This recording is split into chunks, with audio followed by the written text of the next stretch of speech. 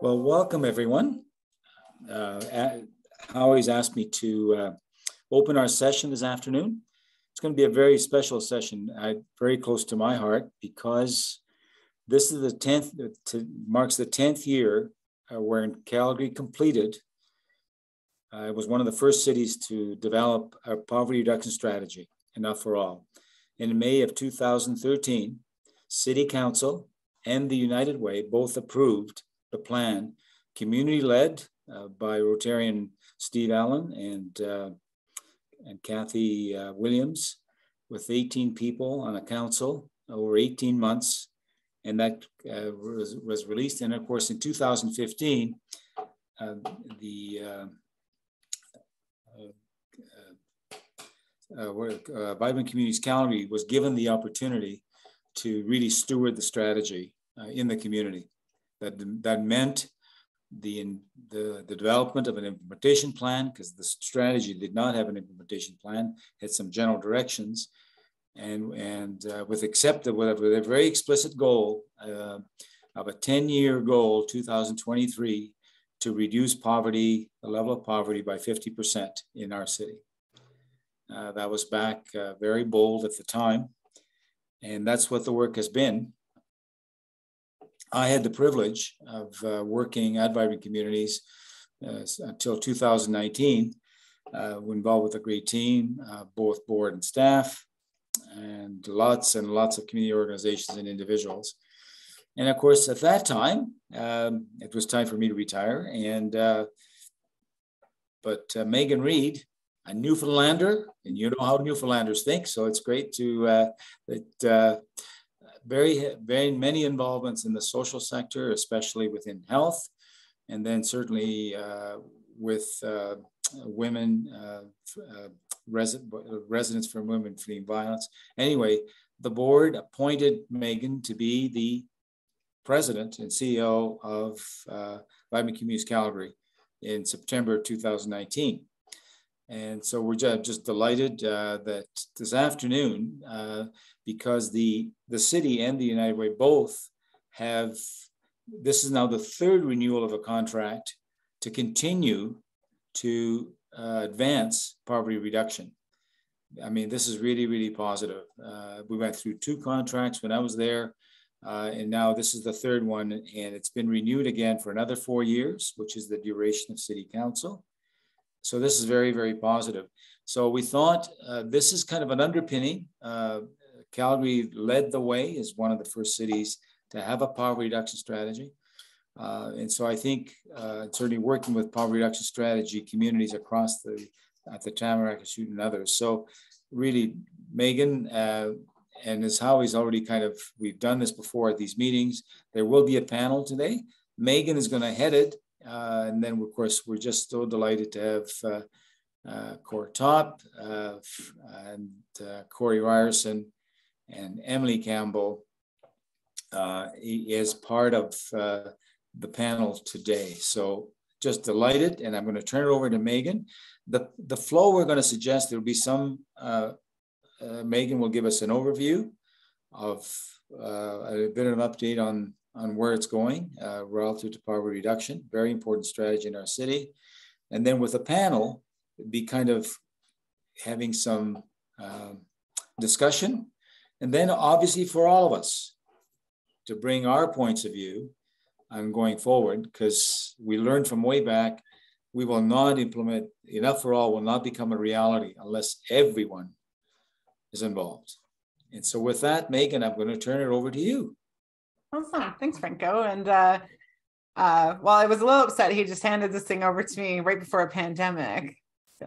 no one could have seen it coming. Um, Franco, we couldn't do what I do without um, you having done what you did. And so I'm very grateful for, for that.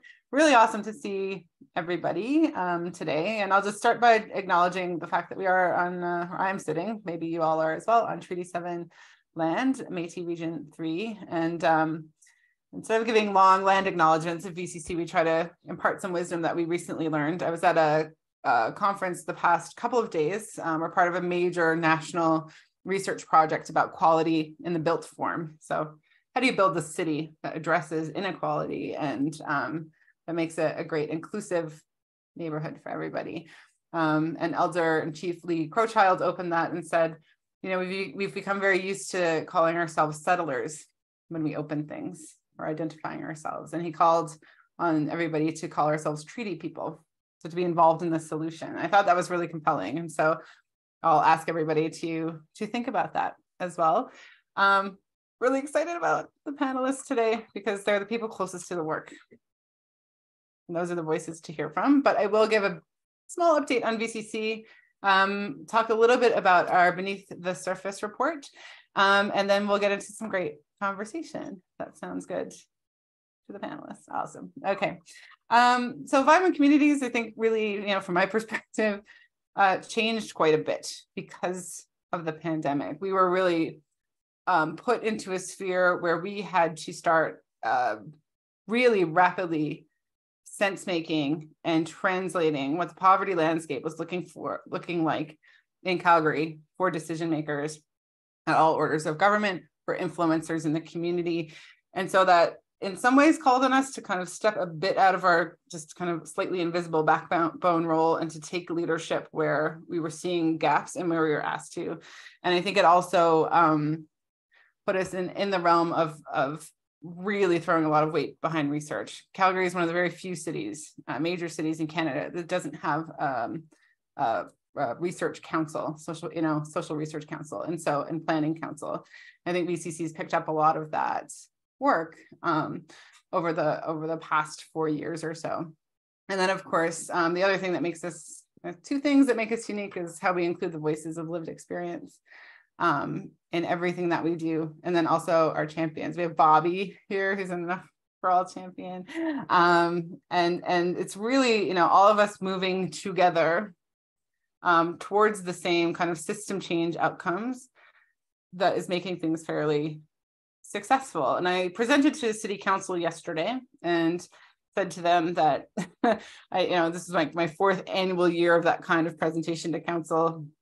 And I said that I had never used the word optimistic in council chambers ever until yesterday.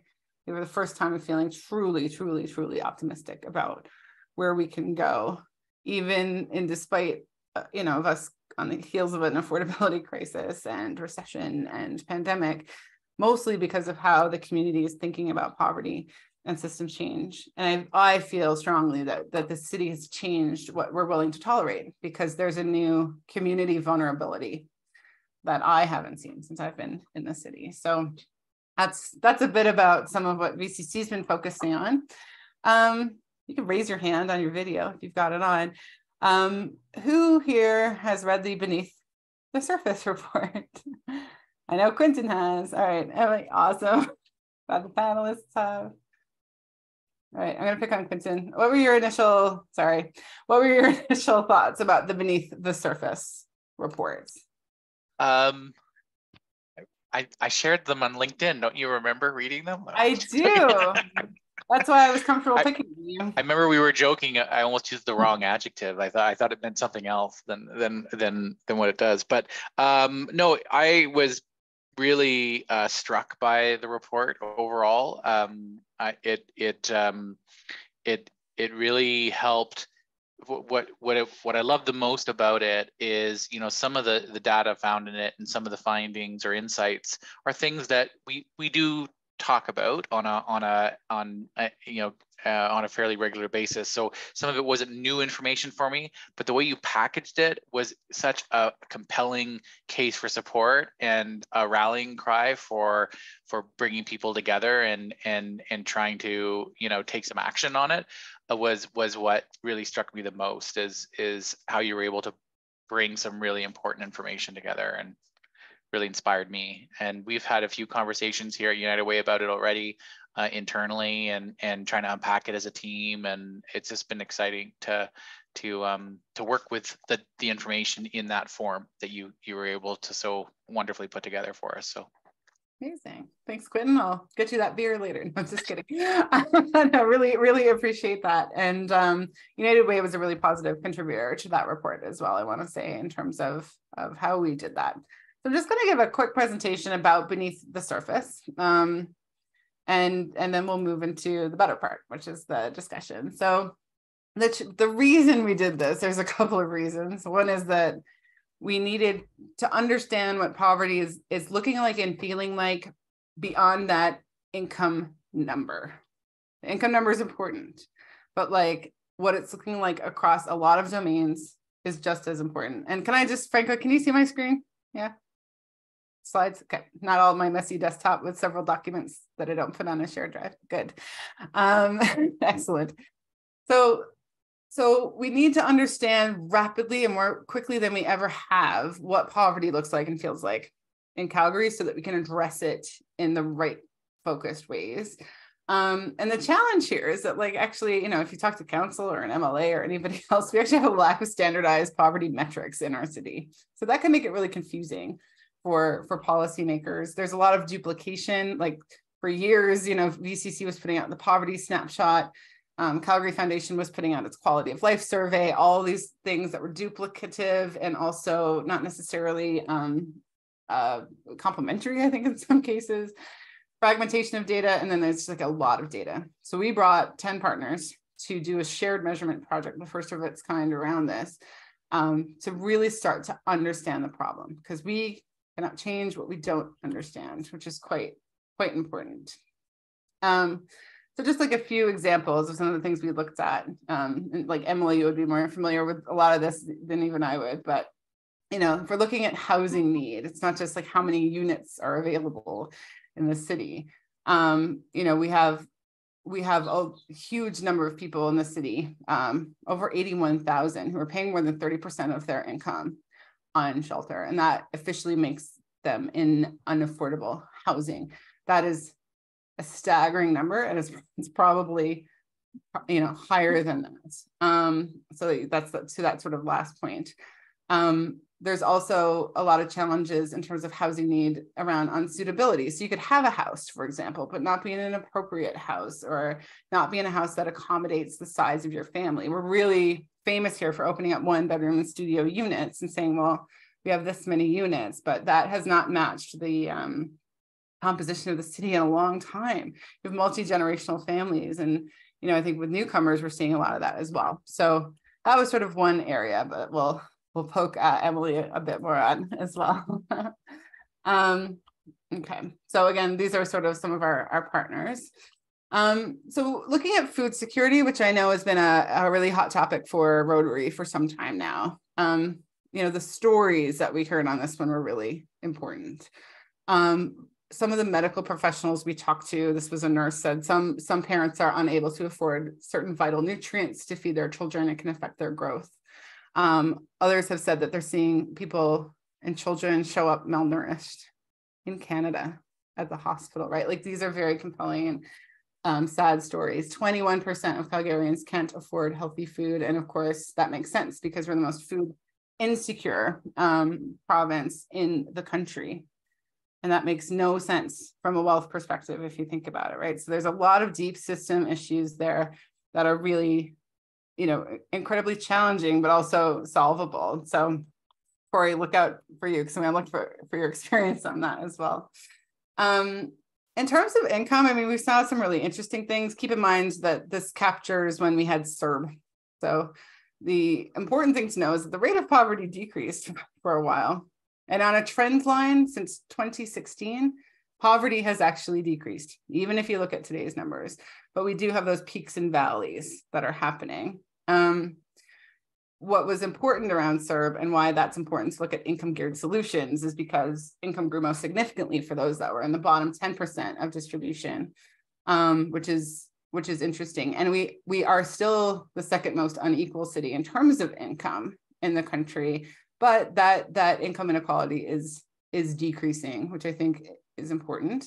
More stunning, perhaps, though, is uh, the increase in the poverty rate among young adults 18 to 24. That's the group that went up. And that should really concern us. And if we look at that sort of evidence compared to programs, for example, so the UCP, uh, you know, uh, put out a, a pretty good affordability emergency package, for example, but it actually left out like singles and students if you didn't have kids in that 18 to 24 bracket or if you weren't on AISH or another income support. And so like that was an example where we're trying to feed evidence in that says wait when you're considering rolling out programs like this let's look at where the need is in the greatest way so that we can really tackle that um, one of the things that we also discovered here is that we um, have a lot of working poor uh, in Calgary, 41,890. Um, that excludes the student population as well. And we can get into numbers, but I mean, what that tends to look like is people who are working four or five jobs and piecing those together, or a lot of gig work. And that's very, very precarious work because if you cannot be sick, you cannot miss a shift. Um, before that starts to incredibly um, affect your ability to be to meet your basic needs. And again, we have that interesting income gap between top and bottom here. So extraordinary wealth linked with you know some pretty deep poverty. Um, in terms of early learning and care, I just think this one's an interesting one because we all have children somewhere in our lives. Um, only 67% of Calgarians have access to affordable childcare services. It's quite low, and we actually think that number is decreasing. Um, affordability has has improved, except for the people who need it most. Again, so there's an example of we need the right evidence to tackle the right programming, um, and that we lack a lot of data. We stopped collecting a lot of data related to um, development milestones for children. And one of the interesting parts of that is that your likelihood of being in poverty when you're 21 can almost be determined when you're in grade three. If you are not at a certain grade reading level at grade three, we can almost tell you your likelihood of, of ending up in poverty when you were 21 years old. So if we're not collecting that data, especially after the slide that we've experienced in COVID, that's a real, a real challenge. Um, again, housing affordability, pretty, pretty tricky in terms of employment, high unemployment with youth. Good jobs are hard to find, but there are lots of jobs. So when we see job numbers go up, that's great but we always need to question what's behind that, of course. Um, but what I most wanted to focus focus on a bit um, is community belonging because I think Rotary's been, um, you know, part of the, the Hubs project. I think as a service group is concerned a lot with community belonging. Um, not surprising. This is very consistent with like global data around quality of life worsening over the past few years. Um, there's some some cool things and indicators about what neighbors feel their neighbor deserves like a living wage. The people in the city really believe that all Calgarians are entitled to a living wage. I think that's a really promising sign. Um, and what we saw more than ever, perhaps, is like like it's it's a good with a bit of a shadow side to it. People in poverty are really taking care of each other, and some of the threads of community belonging are quite strong. Um, I think the unfortunate part of that is it's out of necessity or survival in some cases to help make ends meet. And we have to maybe look at where some of the gaps are in terms of meeting those needs um, and looking at community belonging in a different way. Um, and then, of course, for the Enough for All strategy, um, you know, Indigenous people as co-creators as our future of our future without poverty is really important. And there's like a number of great Indigenous-led initiatives focused around belonging that are happening in our city um, some outcomes are improving, which is fantastic. Um, and there's been a 17% increase in the Indigenous population compared to 2016. Okay, I'm going to stop the talking if I can figure out how to stop sharing my screen. Does anybody know the answer to that?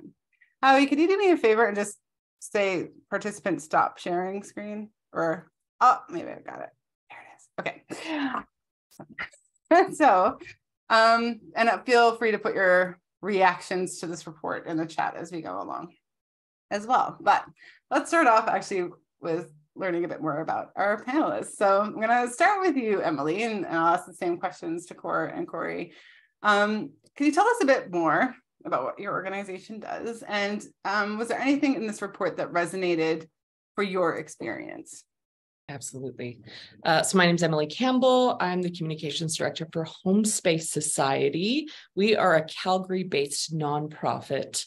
Uh, our mission is to build, expand, and maintain the stock of affordable housing here in Calgary. Uh, we currently have 33 buildings, uh, almost a thousand residents, uh, and our mission is really to uh, keep building to the best of our ability so that more of that affordable housing is available to the most vulnerable.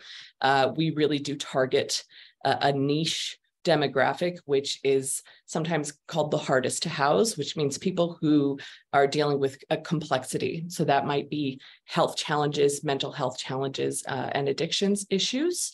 So we work from a, a housing first perspective, which means that uh, there's very good data that shows that uh, when people are offered housing, it's a really good kind of stable place to uh, tackle other issues that may have brought those people into poverty uh, or, you know, um, uh, you know, give them a safe place from which to uh, transform their lives. So uh, when we house people, we don't require sobriety uh, and we're quite forgiving uh, with our tenants because we know that often HomeSpace buildings are the last stop to homelessness. So that's what we do. Um, as for the report, uh, thank you so much to Vibrant Communities Calgary for putting together this uh, data. I know a lot of housing organizations have been working on old data, that 2016 data for a while. Uh, so it's nice to see an update. Um, but I do fear that it's not as rosy as it was in 2021. There was a big push during the pandemic to get people experiencing homelessness housed. Uh, and the community came together and did an incredible job uh, to get uh, people out of poverty into safe, affordable housing.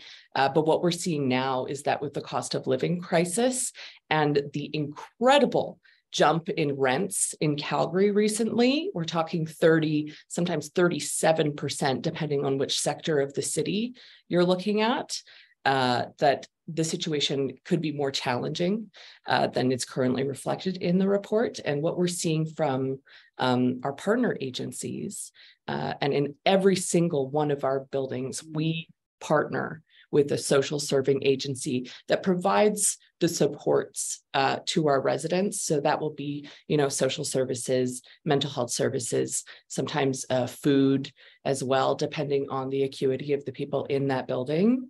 Um, you know, we're seeing from some of our shelter partners that, you know, families are having a harder time finding uh, affordable housing, getting out of shelter, making that transition uh, into market housing because rents are crazy and um, you know large families are having a hard time finding housing that has enough bedrooms uh, for all the kids. So uh, thank you so much again vibrant communities calgary because this information is invaluable to our strategic planning uh, and also making the argument that this is you know something that the city should be uh, supporting um, and also to the Rotary Club for having us because uh, your support, especially when it comes to maintaining um, our properties, has also been invaluable. So thank you for including us in the conversation.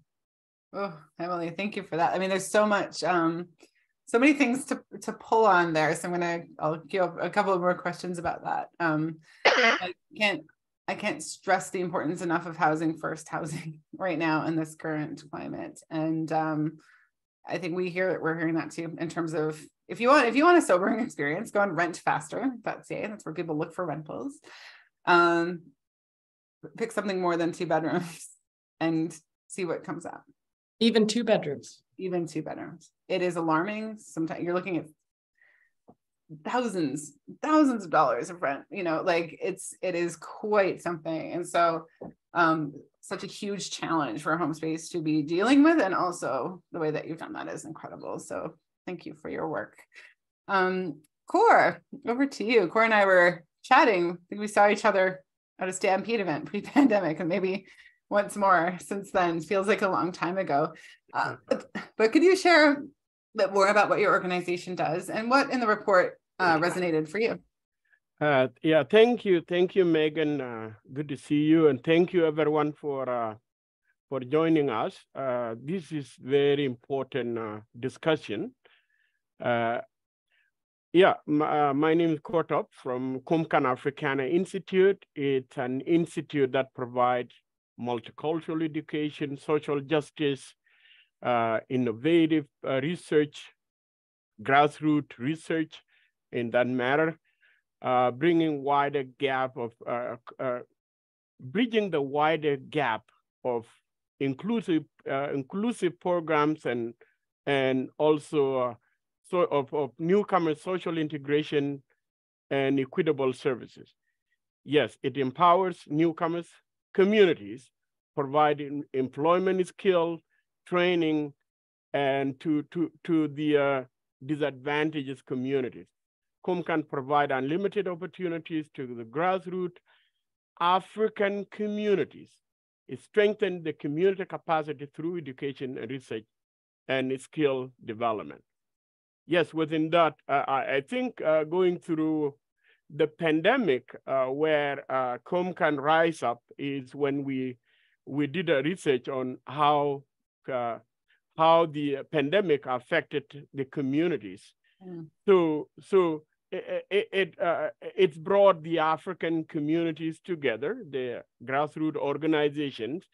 Now with uh, with Calgary African Collective that has membership of 47, uh, 40, 47 organizations of African or Black organization for that matter. Uh, the organization provide mental health and wellness support, uh, basketball program, food, uh, cultural food hampers, uh, life skill and employment coaching, learning thrive, helping kids and children with after school program and mentorship and research and social justice. So now coming to the report, what resonated with me in the report, uh, I, I, think to me, the report is uh, really spoke to me hardly.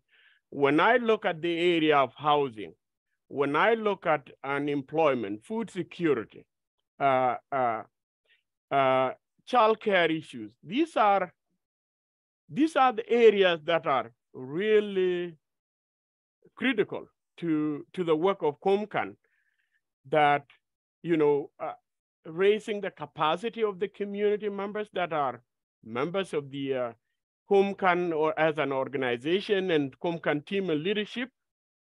These, these are areas that really re resonate with me. And I agree with, with Emily that yes, uh, how far are we going?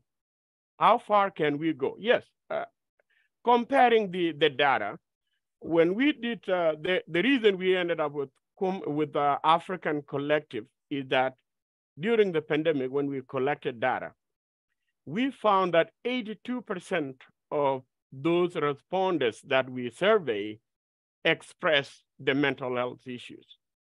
And 67% expressed the needs or unemployment issues. Mm. Uh, and 71% at, uh, responded that food security is an issue in their households. And 7% uh, talked about uh, the issues or addressing the, the house, uh, the housing and also childcare issues. A lot of a lot of these people they they can't even afford to pay childcare, irrespective of what. So when we look at all of this, uh, the the report really resonated with me. But how can, how far can we go, and how how how long, or how long can we wait mm. to address all of this? So I'll I'll leave it there for now, and thank you very much. Thank you, um, Khor, give us giving us additional threads to pull on, and um, I think you know what's emerging as well like you know the emily and if you looked at any one of these organizations websites it'd be very focused and great and whatever um and the the number of supports that every agency is having to offer right now so HomeSpace goes well beyond housing right um Komkan same thing it's just it's full on support on almost every level because we're working with people and people are really challenged on every level. I'll be very curious. I'll, I'll sort of ask a question maybe in a bit around uh, the newcomer experience in housing because we talk a lot about it, but I don't see a lot of plans necessarily. Um, Cory, over to you. We've talked a bit of food security keeps coming up. Um, uh, tell us a bit more about leftovers and uh, what resonated for you in this report as well. Yeah, for sure. So um, happy to be here, everybody. Uh, my name is Cory Rianson. I'm the executive director of the Leftovers Foundation. And so we're a food rescue charity. So we uh, work with businesses who have excess food for whatever reason as a part of their business cycle, stuff they would normally throw away, but that's perfectly fine to consume. Kind of the easiest example is day old bread. Um, if uh, a bakery always wants fresh bread, customers want that, that's fine. But what do you do with the bread that doesn't get sold at the end of the day? often it, it does get thrown out. And so we work with those kind of businesses to, to redirect it to agencies in the local community who can use it as a, either as directly giving it out through hamper programs, mutual aid programs, um, kind of any kind of uh, central distribution point, or as an input to a program for, for an agency, say through like a meal uh, program or uh, like a lunch program.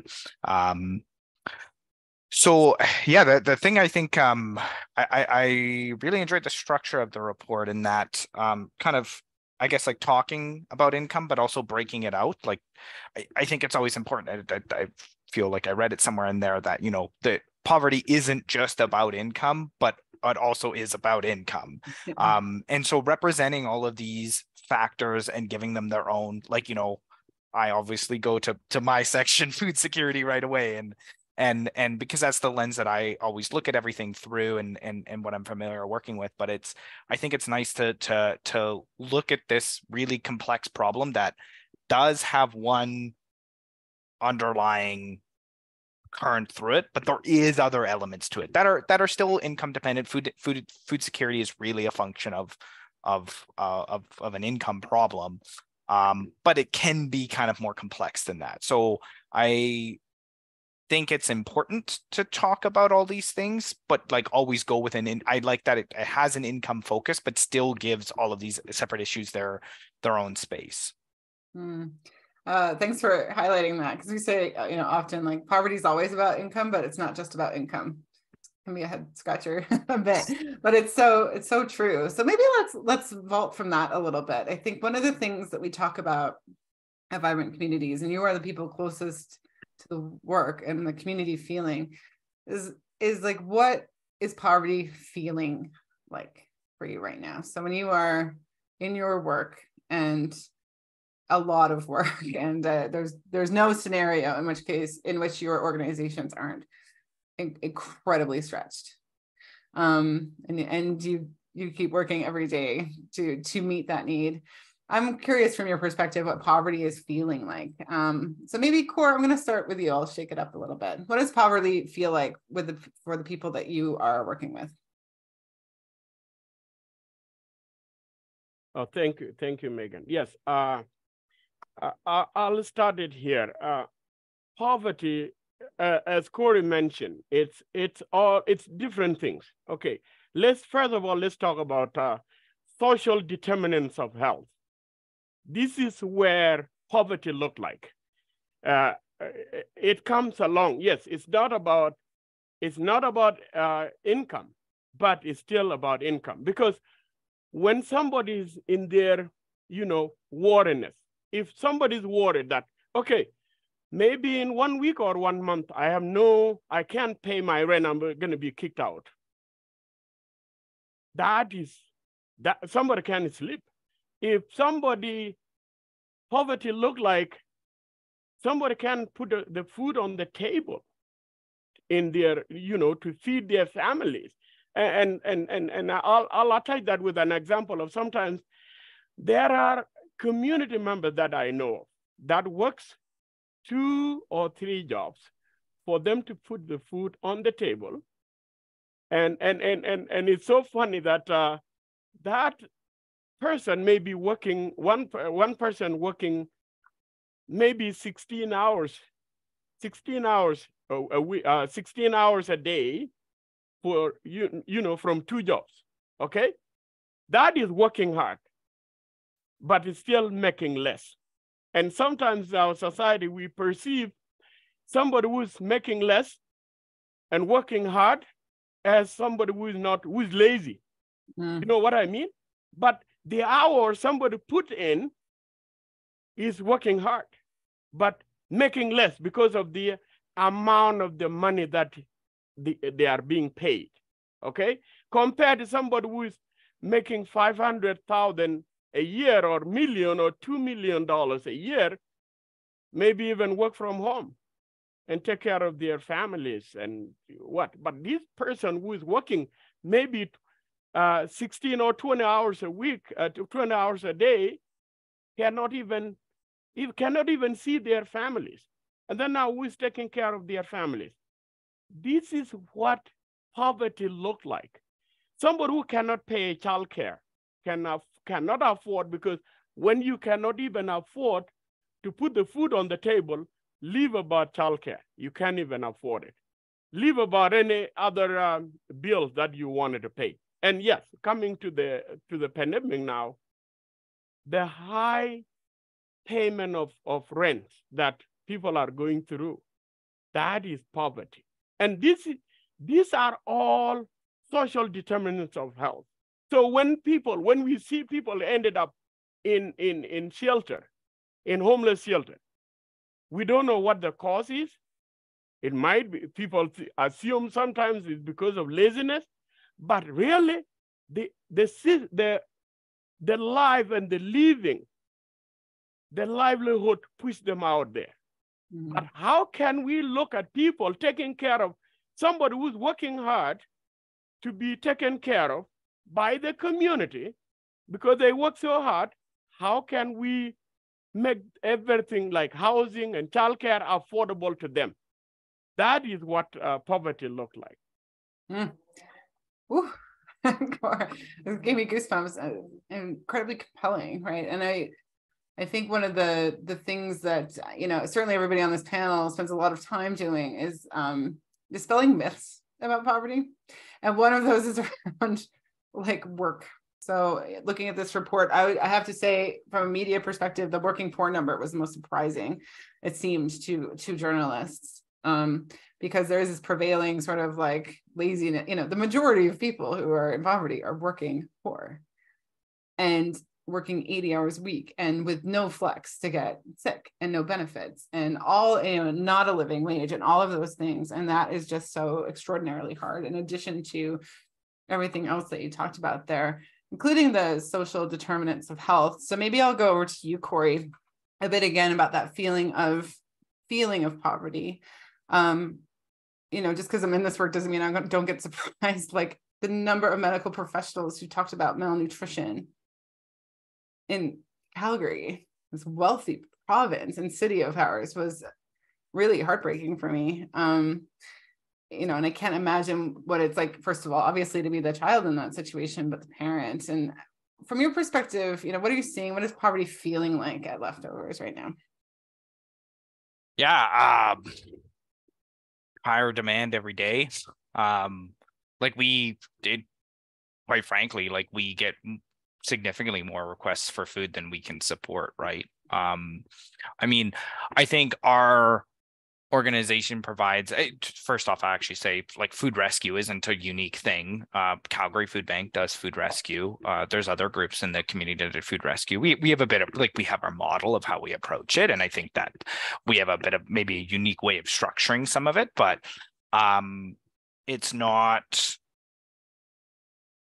the right long-term solution for food security to be clear. Um, it provides assistance. It's it's a part of the emergency food system, which we would all agree is not a uh, solution to food insecurity wholesale. And so I would say, yeah, what it feels like is is is like experiencing that every day of of kind of knowing, you know, we have we serve um, around 50 agencies in in Calgary currently, and and we have you know that number on our waiting list um, of groups who are are looking to mm-hmm. trying to support people in their community that don't um, have all the resources they need to do it. Uh, because demand is just, especially I think for for we've talked about the increasing rate of food security. One of the things I'll say is uh, new data came out from Proof, which is um, the the institute out of UT um, that has like Alberta went up again another percent and a half in terms of the rate of food insecurity at, at 21.8% now. Um, we're no longer the worst in the, the country, but that's because other provinces rose farther and faster than us. So uh, it's not really something to, to, to stop and celebrate at all. Um, and again, going back to that uh, children piece uh, from their report, sorry, I just had it open. Uh, yeah, 27%, 27.2% of children under 18 live in food insecure households in, in Alberta. And again, that number's gone up from this is Alberta statistics, but gone up about 6% or, or 5.5%. So I, I think another thing maybe of what poverty looks like, again, that idea of the working poor, right? Like I, you're seeing food banks. I was on a, a call with um, the CEO of um, uh, the Daily Bread, the the food bank in, in uh, Toronto, talking about that they have record numbers of people who are working full time, are employed, who are food bank users. And I know uh, Calgary uh, and Edmonton food banks, all food banks talk about the same right now that um, there were always these folks accessing those services, but it's significantly worse. Uh, and one of the big things I think too, uh, I've heard a few food banks, both the Daily Bread and, and Calgary Food Bank, talk about it that their usage data has stopped correlating with um, with like disability amounts, with with with income assistant amounts, and is mm-hmm. now correlating with um, inflation, uh, which just shows. So that's that's further driving that. It's it's folks that we don't I think in our misguided notion of who is poor, what is poverty, we wouldn't associate with that because now it's not everybody, but like a lot of people because they're they're feeling the the inflationary pressure of of, of not being able to afford, yeah, the, adequate nutrition for their children in the grocery store and having to make sacrifices and decisions that are like impacting them and their children's health. Uh, so it's uh, yeah, it's the current moment is difficult to say the least. It paints such a compelling picture. I mean, that you that you paint there in terms of like the new users of emergency food services. Um, anytime VCC does anything on food security, anything, we hear from like people through LinkedIn, right? Who it always it, uh, it's almost formulaic. It always starts with the same thing, which is I've got a good job, my partner has a good job, like we just can't make things stretch. It's there's some shame and some vulnerability in there too. And it's like the number of people now in our communities that are accessing these services is astonishing. And thanks for sharing that info from proof about children, because I think, you know, that that has got to start to be a priority of ours um, absolutely. And of course, we know the solution to food insecurity is not more food, it's more income. Um, and that is something that a province this wealthy can start to look at for sure. Um, so Emily, over to you. I mean, one of the things we know is that um, food is like one of the first things to go so that people can start to hold on to their housing. And so by the time people are, are starting to get to a point where they might need a like a HomeSpace home, um, they've probably already made a lot of trade-offs in their life right so in terms of what what you see what is poverty looking and feeling like for HomeSpace right? And you know we look at this through the lens of you know the partners that we partner with in our buildings because they're you know doing the on the ground work with the mm-hmm. families that we serve. But you know for example the food bank demand was up 20% that was just in february. Um, you know rent across calgary has skyrocketed. Um, our partners at Inn From the Cold have seen demand rise 55% since 2022. Um, and there are waiting lists for, you know, the domestic violence shelter Discovery House. So things are feeling pretty desperate on the ground, uh, largely related to the cost of living crisis. Of course, you know, when a crisis hits, it hits the most vulnerable the hardest uh, which is definitely something that we're seeing um, among our residents where you know their income supports aren't going as far um, you know we're seeing more people default on you know the very discounted rent that we do charge. So things are tight. Uh, but i don't want to leave it on this very dour note. Uh, i think calgary actually has a lot going for it. Um, right now we're working with an administration uh, in the municipal government that uh, is very concerned and very awake and aware uh, to the issues that uh, vulnerable Calgarians are facing. Uh, I would also say that, you know, housing and cost of living is a major topic with this provincial election uh, that's happening right now. I think that it is on people's minds and uh, people are trying to find solutions. So yes, things are difficult. Things are, uh, and people are struggling. Um, but I don't think that we're talking about it in the same way that we used to here in Alberta. Uh, so there's something to be optimistic about when it comes to the potential for change going oh, forward. Fully agree with you. And I, I really appreciate that you said that because I, I feel that too. I think, again, what we're to- choosing to tolerate is starting to look different. Um, and there and because of the influence, for example, of, of HomeSpace and feeding into policy discussions, which I think is kind of new for a lot of organizations to start feeding into policy either by advocating or you know revealing data or telling those stories which are, are very provocative. And sometimes a story can move a mountain faster than a pile of data right? Um, we're starting to see things like the affordable housing task force recommendations that came out from from city council today. Those were bold i thought. And um, you know meaty it talk about rezoning. It talks about taking single detached housing out of the local area planning guide. It's just it's it's addressing NIMBYism through policy. It's a very compelling set of recommendations that I don't think would exist if we didn't know these stories um, that HomeSpace tells. And so thank you for that. Thank you. Um, it is a scary line to toe, though, I'll tell you, when you are, you know, sometimes dependent on funding to try to get new buildings built, to, you know, try to push, try to advocate, uh, but not be a jerk about it. So you alienate your uh, supporters, right?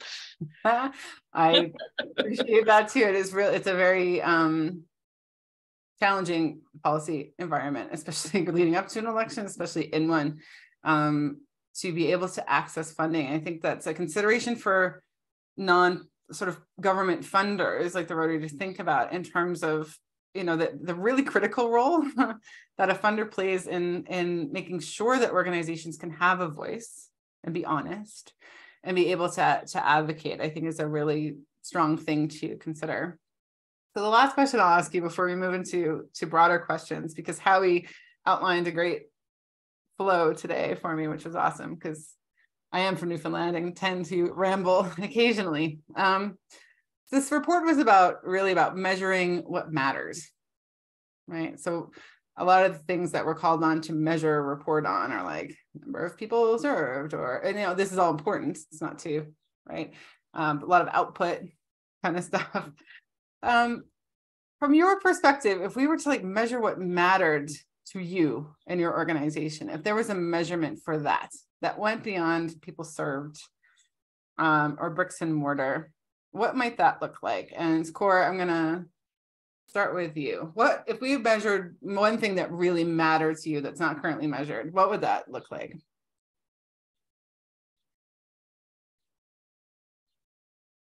Uh, yeah, thank thank you, Meaghon. Yes, uh, I think if there is uh, one thing to be measured uh, to me uh, or to the organization that I serve is developing the capacity and the skill level, because here is our concern. The concern is now the job, the, the job skill are shifting and we are in, a, in an economy that is driven by, by where the jobs are going.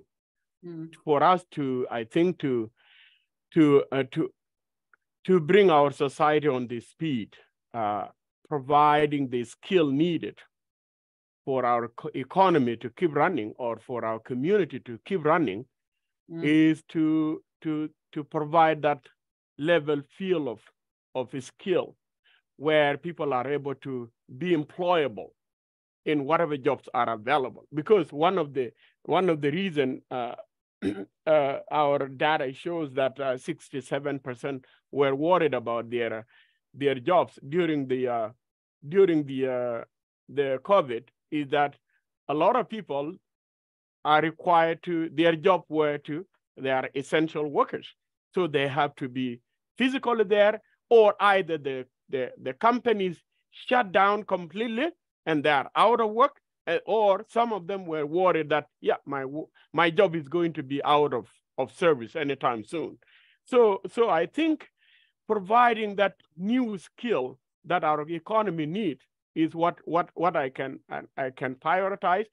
The other the other the other thing is uh, uh like i like uh, Cory said i think providing people with food is not a solution but because how far and when are how can we just continue providing food instead of giving people the skill and they are able to work and they buy food for themselves and giving that uh, em employability and also how can how can the market be affordable to people for example we are we are the richest province in canada hmm. and and if if ever everything is going up and we cannot keep up with that, then what are we going to do? That is the awareness of some of the uh, community members that, that uh, Komkan are serving. So providing that area and also helping kids to direct kids in where the jobs are leading. Mm. Because we talked about in the province, even now, we are talking about, oh yeah, we have shortage of workers. So we are mumbling around while some of our uh, potential workers are either going to be homeless or or to to cannot afford whatever uh, affordability is so where are we going so i think those are the kind of areas we can look at i am going to take i those are amazing areas that aren't often measured and to take some moderator liberties with that and say you know what if we measured someone's ability to be able to predict what's going to happen in their own future. Like, what if we measured that? So that would look like I'm not worried about my job with the slightest emergency. I'm not worried about where my food's going to come from a year from now because because uh, we're, we're going to keep things affordable. I I'm not worrying about my next step. What if predictability in somebody's life was a measurement. I think that would be very compelling. Um, Emily, over over to you. What would you measure if if you were measuring what matters? Something you're not measured on now. It's a little bit hard to explain, but I would love to be able to measure. Um, I guess the effectiveness of housing by measuring one's life chances. Yeah. Um, and that might be, uh, you know, measuring whether somebody was able to go back to school for the you know first time because they had access to affordable housing. So they could improve their skills uh, and get a job that they uh, that was a better job that they were better suited for and liked more. Uh, or you know if we could measure uh, improvements in health if we could measure improvements in mental health or uh, you know acuity of addictions even being able to i guess yeah the intersectionality of all of those things uh you know where people um that measure you know the quality of someone's life mm. i would love to be able to um see the outcome of that um i'd also love to see you know some really clear numbers projecting uh where and how we need to build to accommodate all of these new Calgarians that we are anticipating. Mm-hmm. You know, I heard a number the other day that we're getting 69 new Calgarians every day. Um, and if we could, uh, I guess, like visualize where and how we're going to accommodate all these newcomers so that they, uh, you know, have the chance to live, work, and play, um, you know, with food security in their neighborhoods uh, I think we could do a much better job of projecting and um, meeting those needs for a growing city. Oh, it's provocative. It's about quality of life. And what I what I sort of love about what you said there is that um, you know, sometimes in the game of poverty reduction or working with people in poverty, it's like their poverty is less or they could they could afford rent and food. And it's like, when did we start normalizing that thinking? And instead of looking at as you know what are your barriers to thriving thriving in this community not just surviving. And i and it if until we're looking at those things i think um, we're not we're not measuring thriving. We're we're, we're measuring like you know how, how close we got to the bottom right? And i think measuring thriving and eh, all those intersection points would just be so compelling. Um, Cory, what do you wish was measured? Yeah, luckily I got to go last. I got to think about this a little bit, but uh, yeah, I would say something you picked, you talked about a little bit in the report of that the uh not necessarily the malnutrition but like the healthcare impact mm. of food insecurity, which is something Proof has the the the institute I, I mentioned has has talked about and has some research on. Um, but I mean, their essential pitch is between that and alignment of benefits, something like UBI would pay for itself. And I think there's something really to be said to if folks are making are sacrificing their nutrition, are skipping meals, like like obviously these things are unhealthy. Um, that like there is a cost on the healthcare system. Uh, the other thing I would say, I think that would be helpful to measure, because I wonder sometimes if this is it's it's all almost just too abstract. Is you know we used to talk about hunger, now we talk about food insecurity. I think food insecurity make it like don't get me wrong, that's the better thing to talk about. It's a more comprehensive thing. It's it's important because we're talking about appropriateness of food, but I don't wonder if sometimes we lose the um the emotionality element in it. And when we talk about like how do you measure food insecurity, is it marginal, is it moderate, is it severe, and we and we categorize it like that. When you look at the questions that they ask, and like I, the Shirk questions are like I don't know, six six questions or whatever. Um, that uh, look at this talks about skipping meals. So like, what if we reported that as well. This number of people said they skipped a meal or had to sacrifice their their their children's nutrition rather than reporting the kind of academic stat on I'd like do that as well the the the the data point but from a, a, a communication standpoint that like what does this mean what does that look like and and you have that in the uh uh the the the qualitative like the stories element but I think also talking about you know the volume of like this many kids had their nutrition um parents reported like kids nutrition is suffering or parents reported skipping a meal. Like some of those things that basically exist within the data but it's just um like how how you measure food insecurity is just like you, you mark these questions. If you kind of reported some of that base statistic i wonder if it, if it wouldn't have a little bit more resonance as well of, of communicating like what this even that even marginal food insecurity mm-hmm. i think sometimes people read the description it's like oh well that's maybe you know that sounds normal. Um but understanding that no that that actually means people are are making hard choices about what their families are eating. Yeah, I think there's there's a lot in there, and um, one of the things I really appreciate about what you said is like we've sometimes created this ecosystem where it's like numbers, dispassionate sort of facts and figures, and sometimes we wrap a lot of um, language around things that I think uh, softens the blow of what this actually is. And what if we measured our community's ability to actually rise to urgency?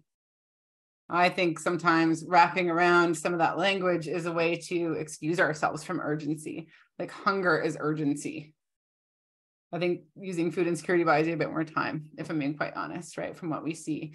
And so, what if what if that was a measurement of how how do we recognize that something is urgent? It's an emergency, and and what does it look like to address that? Because hungry children is in a wealthy country is an emergency right? And that i feel like we've drifted away from that sometimes in our measuring right?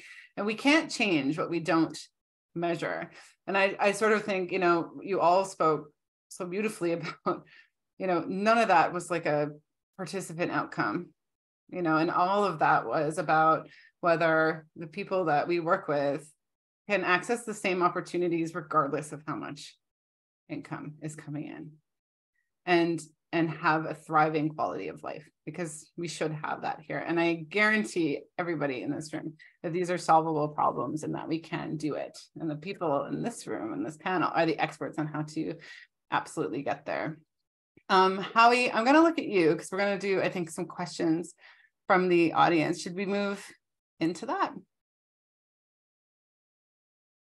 I think Meaghon, let's let's do that, and uh, maybe we can just people can just uh, put up their hand or or else sure. we might uh, be a little bit more direct. But uh, I, I, think I, I, would be kind of interested as you hear this, whether you're a Rotarian or I notice we've got some folks from community agencies here too, like Bobby and and Bethany and uh, just and Deb, I mean, relative Mary, I mean, what are your, you know, just as you hear this, I mean, and you kind of, uh, I mean, because me, the, the wicked question that that you asked, Meaghon, of, of the panel, I'm saying, why aren't we doing it? Why aren't we measuring that? If that's what we'd like to measure, what the heck's getting in our way? And I include I include Rotary in that. So it's a wicked question because there's no obvious answer to it. But what is it in our system that prevents us from doing that mm-hmm. up to this point? If that's what we really need to measure. Anyway, let's just throw it open. Bob, Joe, I think I see Joe's hand up. There. Great, Joe. Super. Thanks. Hey, first of all, I want to thank the panel. This was very, very enlightening. And, uh, you know, I was amazed that uh, someone mentioned that 69 newcomers every day in the city of Calgary. Uh, knowing what the market is like in Calgary, it's it's it's a horrible situation. But one of the things that we really need to do collectively is basically shout it out from some mountain that people that have got problems with food security, it's not because they're lazy, it's not because they don't know how to budget, it's because of our situation in the city of Calgary, you know, with high rent, high child care, and I'm not getting into the liberal thing because I think this is a really good thing that's coming around, and the cost of utilities, groceries. I mean, people, they're stuck. If one of their children gets sick, they can't afford to buy antibiotics because it, it's not in the regular budget and they've got to move on. But uh, we've got to express that to the general public that this is just not a case of laziness these are people that really need our help. Absolutely. Thank you. And, and I think that's a message to really carry to circles, right? Like, again, the majority of people who live in poverty in, in this province are working poor and uh, best budgeters I've ever met, right? Like, I think that's a really old narrative about laziness and etc. Right. And so everybody here has a sphere of influence that they can influence. I think it's such an important message, uh, Joe, to share Mary, I see your hand up there.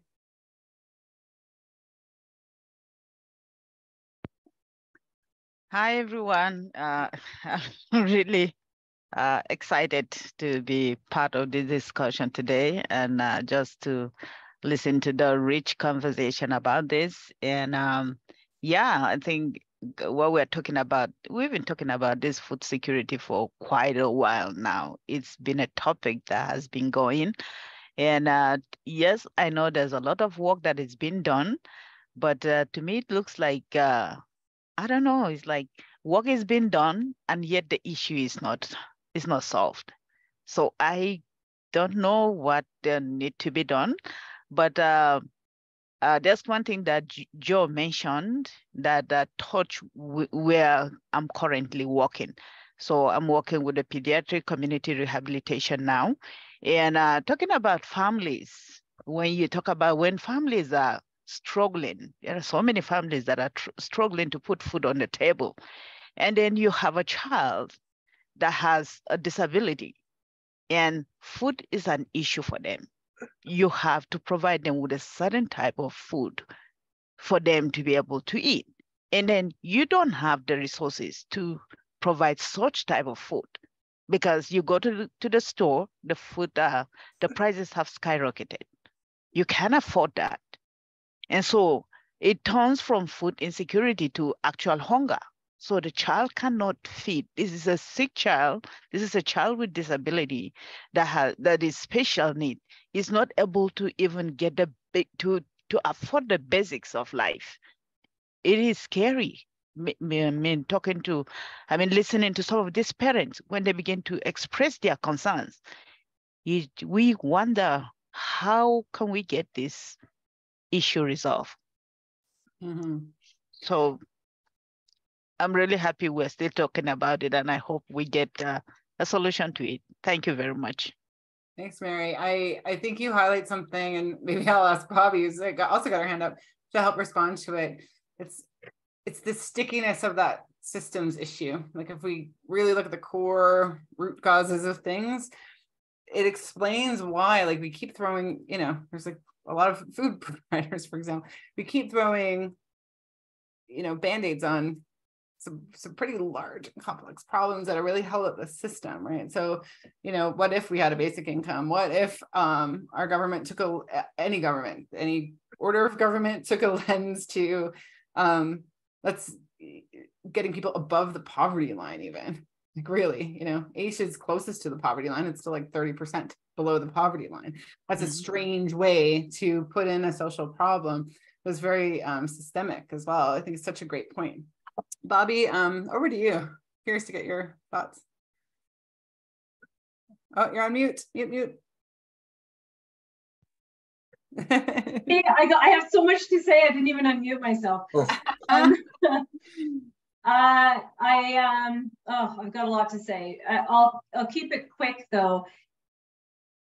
One the one thing I would like there's three things I'd like to to to mention. One is um the, and this will be we're disruptors in the space. We know that doesn't make us very popular sometimes. So probably what I have to say won't be that shocking. But um, the, when in a lot of cases, I find that the sector works against itself.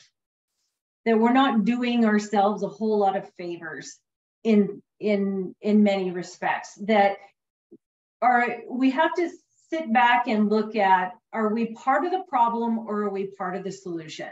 And how are we how are we participating as part of the solution and not what makes us feel good in that not what suits a donor who needs to provide 30 volunteers for an opportunity um, you, you know like are we i just want to one of the things that you know and i can only speak to the food security space is that and and i heard it and and respectfully accept the, you know, um, Cory's comments and yours as well, Meaghon, but we're not doing ourselves any favors by educating the general public society by focusing on a sexier word of hunger versus the reality of food insecurity.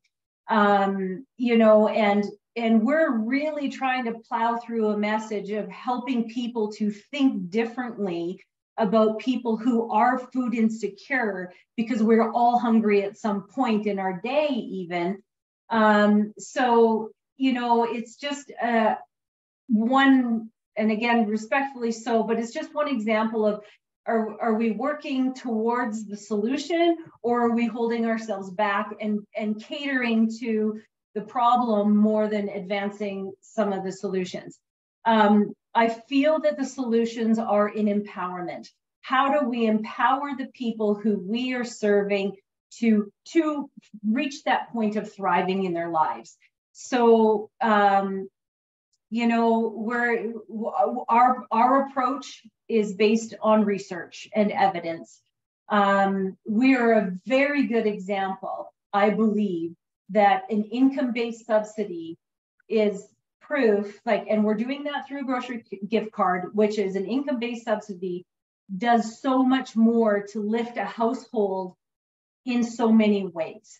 Um, more than we can achieve with with food alone and we know that because we used to be solely focused on providing food and now we've switched our focus to an income based support um, and you know, when we can stabilize housing by providing financial assistance through grocery gift card, then what else is that achieving for that family? And Emily can speak a whole lot more to that than I can.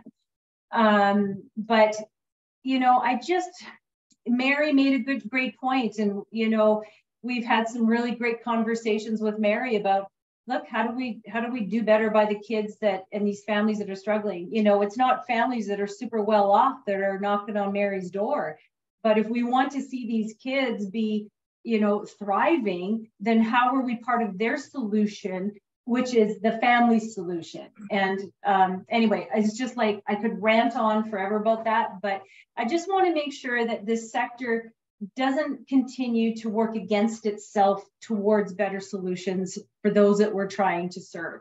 If we are, if we have the opportunity to set an example by moving how we do things in a different direction that we know at the end of the day is really is really genuinely serving our mission, then that's what we should be doing. But I just find the sector itself gets really caught up in trying to please, be everything to everybody or please certain groups. Like I have to please my donors. I have to please, and, and yeah, we do, but we can also educate them and start moving them towards more effective supports until we get to that place of the government is now going to make sure that everybody earns a living wage or you know is paid a basic income of whatever that is. But until i see the sector making more deliberate movements in their programming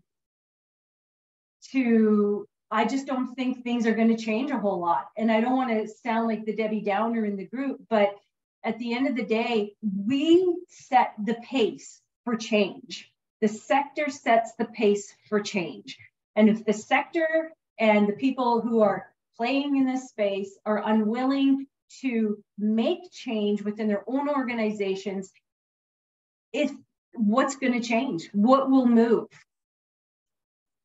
No, thanks, Bobby. I think, and it to me, I appreciate the discourse and the uh, the both ends of that. I guess um, the the, and I I think what's really quite poignant that you said there is like until the the problem and solution rests in the right place, which is the government, right? So I think we have one of the challenges we have as a nonprofit sector is that we are just like filling holes and patching holes and doing all of those things.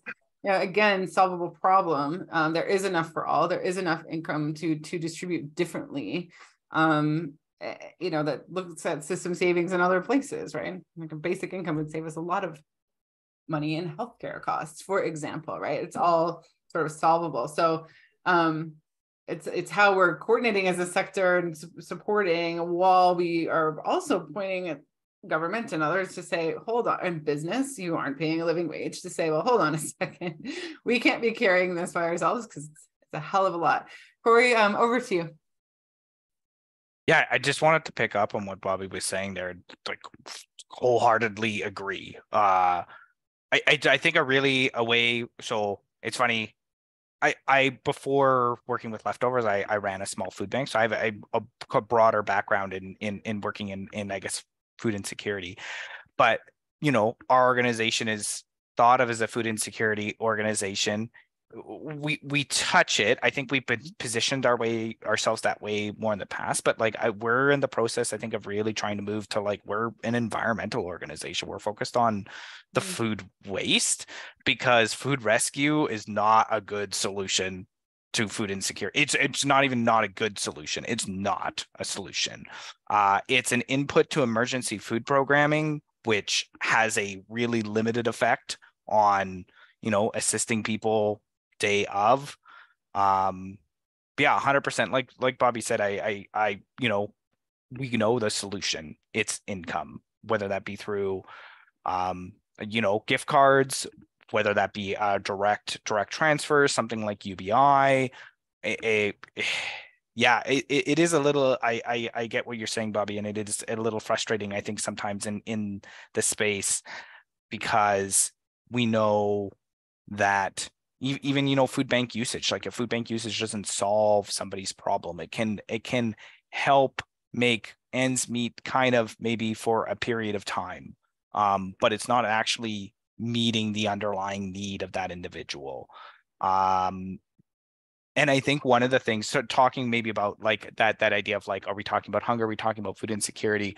There's been a little bit more media on it but eh, one of the things i would really say and i, I think exactly like you're saying, Bobby. I think the sector's been guilty of perpetuating this, that the emergency food system as it exists meets people's needs. I think the underlying there there's this assumption in in in the underlying populace that if you're in trouble, the food bank's there to help you, and that will be enough to support you. And that the folks who are using the food bank, that's the process they're going through. And it's it reality could not be further from the truth, but that that's a prevailing myth in society that, yeah, basically that the social safety net there is it, that it exists and is there for you and it is sufficient, which is not true.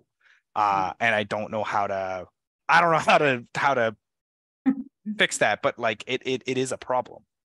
I think that if I can just pop in there, Cory, I think that part of it is defining emergency because we certainly seem to cannot get ourselves out of an emergency. So how are we defining emergency? And then how are we defining transformational change, right? Like how are we transforming a household to go from completely unstable in the myriad of ways, like because of the housing, their housing situation or food security or mental health or whatever that is. It's transforming um, their ability to care for themselves, to provide their own basic needs. But we're stuck in emergency. Like we're just stuck, stuck, stuck. Like it's an emergency, so we respond. Emergency, so we respond. But we got to get beyond. And I think that, again, we're probably guilty as a sector of how do we define emergency? Right now, everything is an emergency. Um, so it's getting out of that. It's moving and empowering people to experience transformational change in their home. And uh, yeah, so just leave it at that.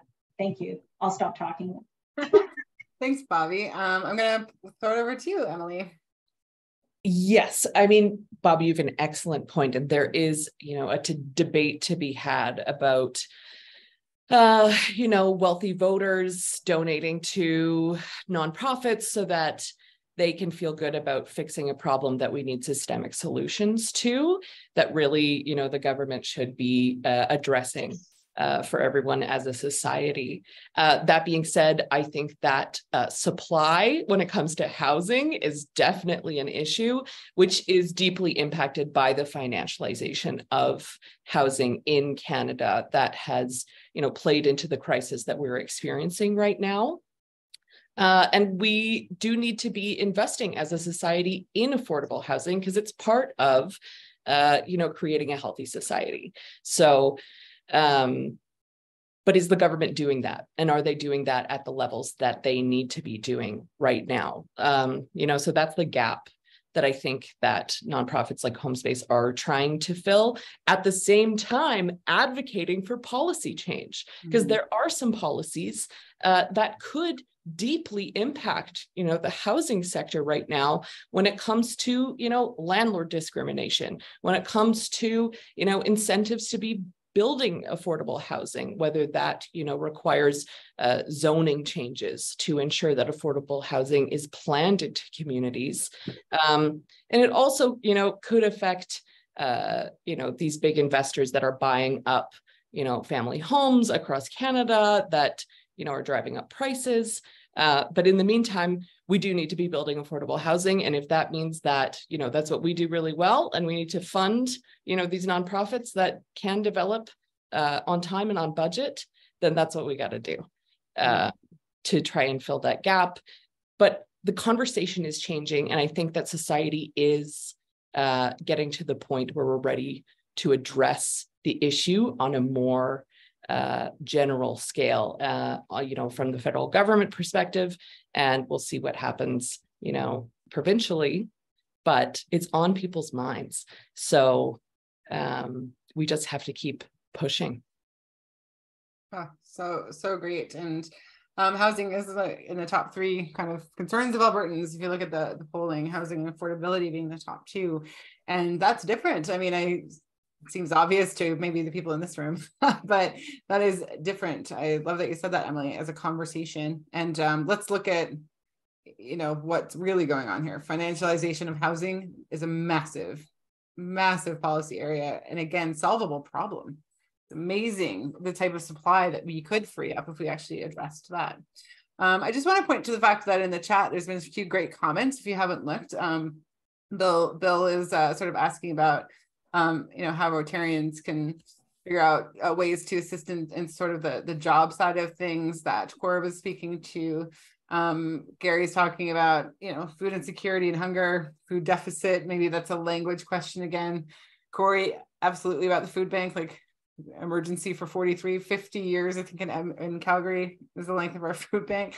So that, that whole definition of insanity is trying the same thing over and over and expecting different results, right? Um, and then Mark, I really appreciate your comment in terms of um, governments being late to the party.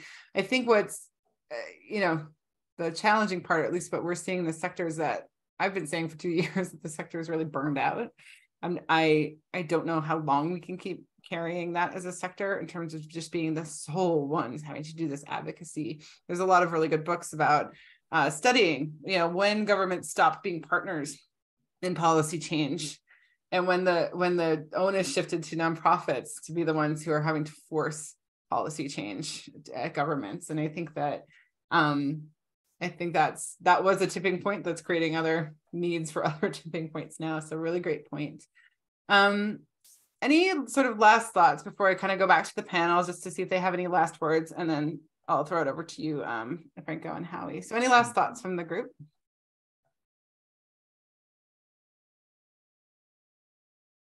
Oh, Bobby, sorry, sorry.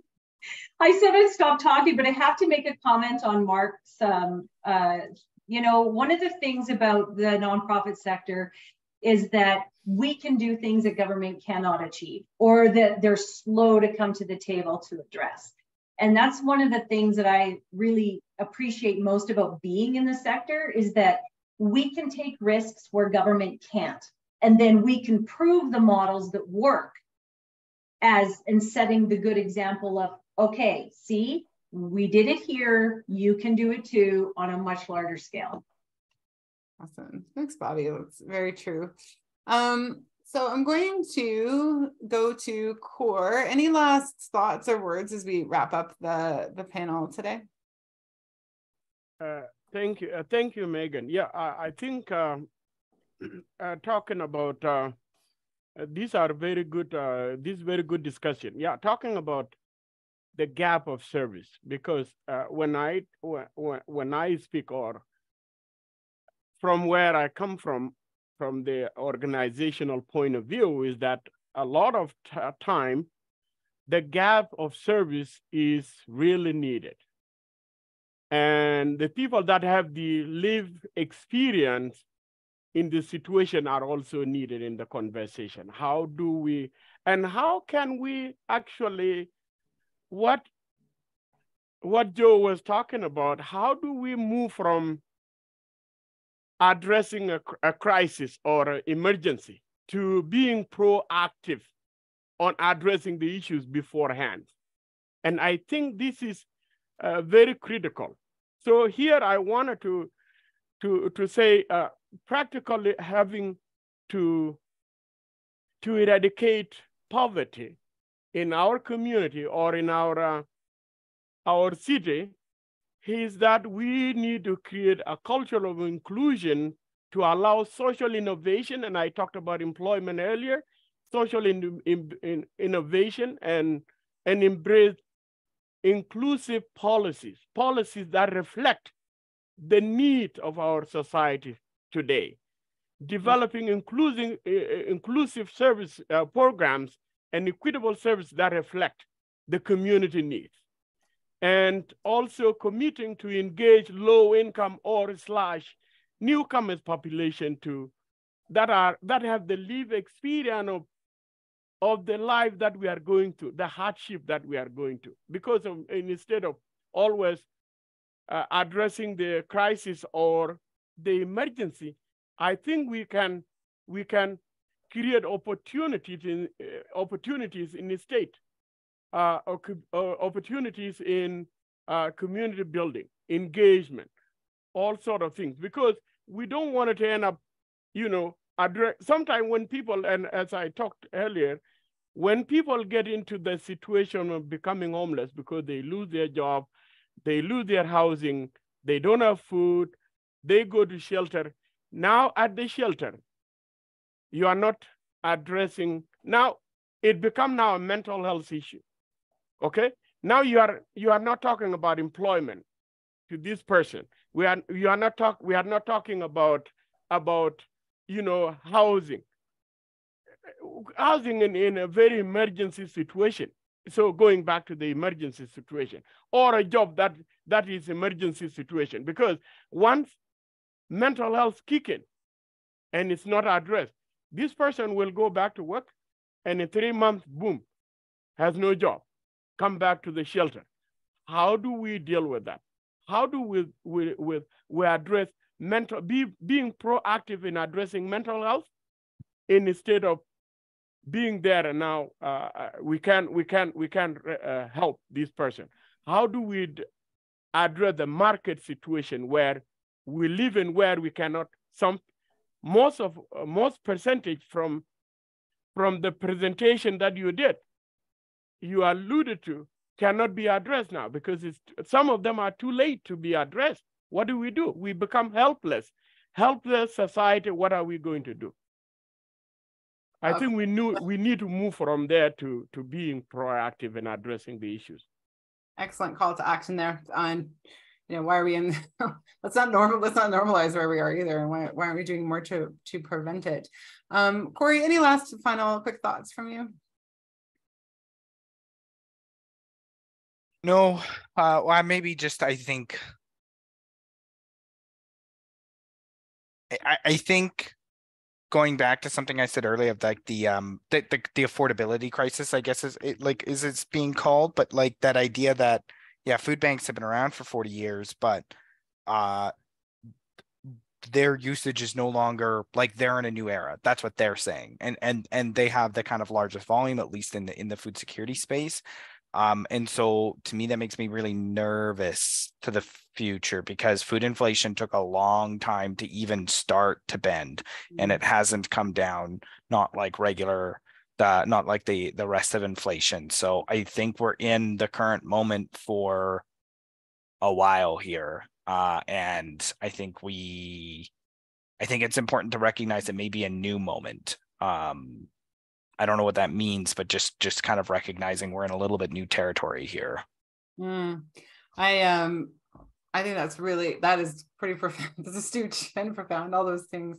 We are in a new moment, and um, we have this, especially now. I think post-pandemic, strange recency bias around like we're just attached to the last thing that we heard, and um, we're not really thinking about the longevity of, of what's happening on some of these fronts. Emily, any final words from you to close this out? Uh, can I say I love where this conversation went? I think it got uh, much more interesting than I was anticipating. Um, it does feel like we're in a new era, uh, but I think that something we can take away from this is to um, take advantage of it because uh, this kind of desperation can breed systemic change and it affects public opinion.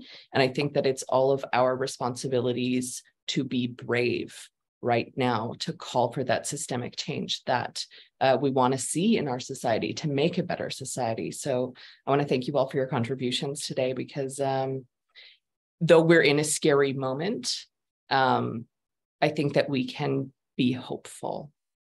Hmm. What an amazing, what an amazing note to uh, to sort of end on. I just before I hand it over to Howie and Franco, want to say a profound gratitude to the panelists and everything that you do. I mean, I think at VCC, we often recognize our privilege and the fact that we get to advocate and study and do all those things, but we're not actually like in there um, in the service side. And it's, that is the hard part. So, um, and asking questions also easy part. so thank you so much for, um, for allowing me to be your moderator, well, Howie and Franco. Thank you so much, Meaghon. Uh, Khor, Emily and and uh, and and uh, Cory. Uh, very very robust conversation, and so I think uh, the question always is to me when you end up with this conversation. Um, this is not an action group itself to get something done. Uh, it is more about what each of us, what we put in our hearts and souls, and bring it to our own circles of influence. That's really where the action takes place. And so I think the, certainly that's what I'm taking away, and it was a reminder again. Uh, even though I was very, I'm very familiar with Enough for All, but in fact that we do have a strategy in the city that it really is about. Well, let's all get behind it in our own respective ways and figure out how we can advance that. So I just again, my our sincere thanks to the four of you, but uh, to all of us here this afternoon, and hopefully it encourages us to, uh, in each in our own circles, to put some of this stuff to, to action, not the least in the middle of a cam- political um, election campaign. Lots of opportunities to raise some of these issues to make it a reality. So thank you.